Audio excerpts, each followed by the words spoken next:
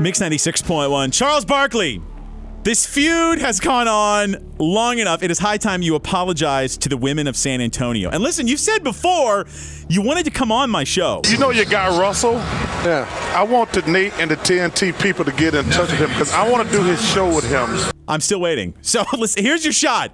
I want to invite you to come on the show. Not only come on the show, I want you to take over the show. You can play whatever you want, say whatever you want, do whatever you want, just as long as you apologize. Hell, I'll even stock the studio with churros, all right?